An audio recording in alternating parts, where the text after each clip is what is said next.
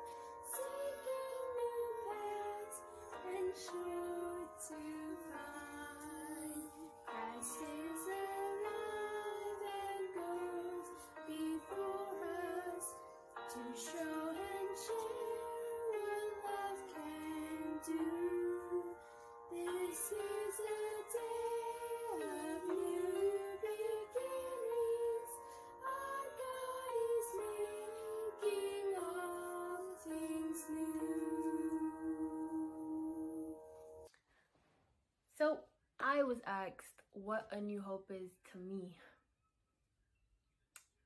And you know, knowing me, I have been mentally drained from school.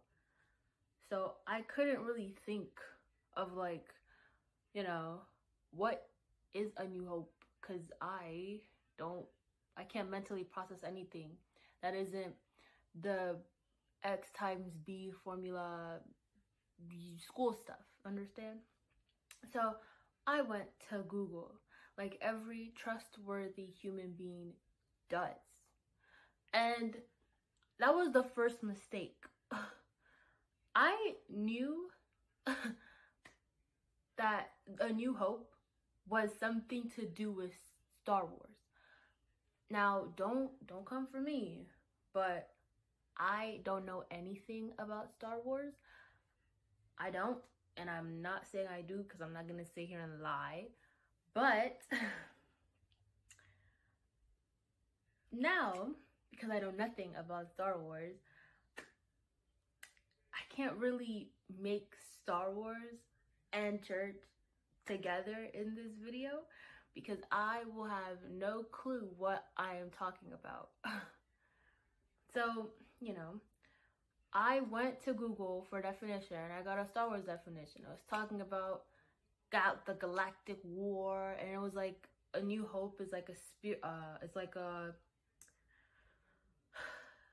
a new hope is like a civil war in the Star Wars genre movie thing.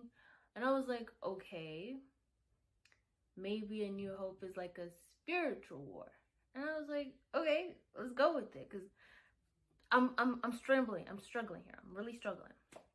So I was like, you know, it's just I just think it's like a civil war spiritually. Cause you're fighting, you know, your thoughts and you're fighting all this other stuff and you're hopeful for the end of that hope. Like you're hoping something happens, but you're looking at the bright side of things instead of like, you know, I'm hoping something bad happens now or like then or like later. That's not that's not smart.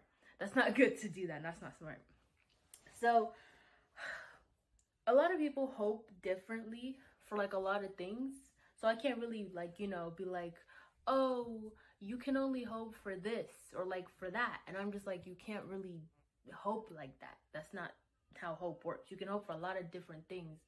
And people hope differently. Like you can't people go to God for hope and guidance and all that stuff. People go to the internet, people go to themselves, people go to family. I personally go to all of those because you can't really choose what you do when you're in that moment because you're like, you know, I'm literally can do anything at this point because you're hopeful of any possible outcome. So you're just like, you know what? At this point, I just want anything to work out the way it works out and you just go for it.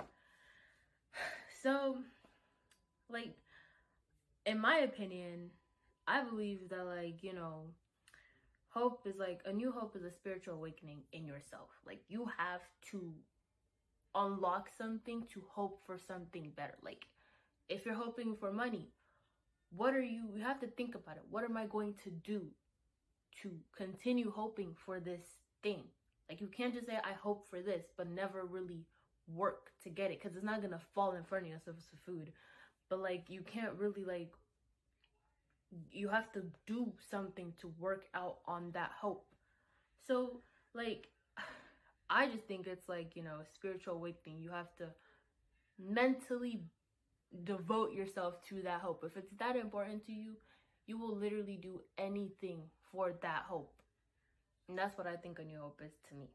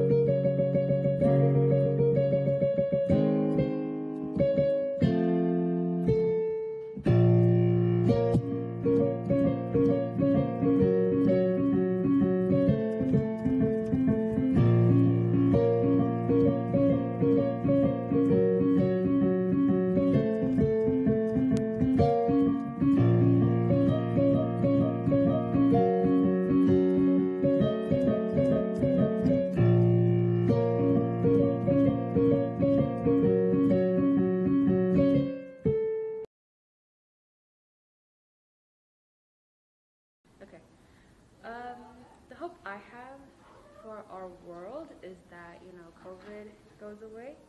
But like we also get to go back to school. So I'd rather do in person school than virtually. If that makes any sense. My hope is for everyone to have a good 2021. A hope that I have is that the vaccine for the coronavirus can that's being spread across everywhere in the world can help families and can help everyone and hopefully make this virus go away. My hope is to find non toxic friends. My hope for this new year is that the vaccine gets out to everybody and that it works. Good morning, and thank you for joining us for worship this morning at Oak Chapel Church in Silver Spring, Maryland. I hope that you have been as inspired by the youth, by the young people as I have been this morning. They are indeed our new hope, a new beginning, a new age, a new generation doing things their way. We do have a new hope for our future. Have a blessed day. And now may the peace of God, which passes all understanding, be with you today and forevermore. God bless you and see you next week.